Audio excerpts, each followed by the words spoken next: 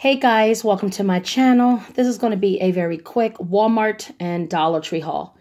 And it's all basically the same stuff I hauled before. So, Walmart, I just picked up my favorite dip. This is the fried pickle ranch dip. It's so good. It don't even taste like ranch at all. It's just, it tastes like a whole bunch of pickles inside of delicious cream cheese. It's so good.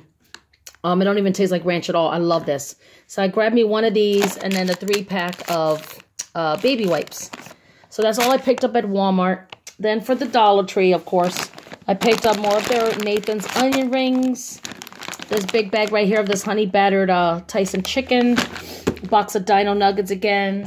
Two four packs of the orange citrus sparkling water. The 50 count of the pepperoni pizza rolls in this nice big bag. The White Castle um, pizza bites or whatever you want to call it. And then I got two french fries again to throw in the air fryer. So that's it, guys. That's all the stuff I picked up at Dollar Tree. Nothing crazy. I hauled this stuff before.